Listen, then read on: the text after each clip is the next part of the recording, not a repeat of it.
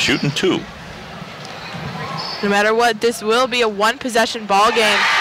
St. Michael's has four seconds to basically launch a shot all the way across the court. Two-point game, Van Grinsven at the line. Lines up the shot. It's up. Comes off the rim. Oh, good. Autumn Giles has it. the ball.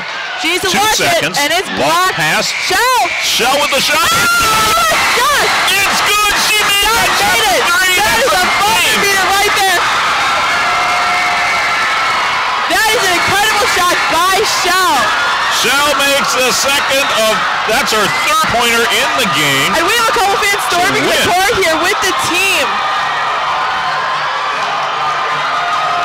And all the mess after the game ends, Levac was actually knocked out. She's linking off the Oh, court right oh. oh. now.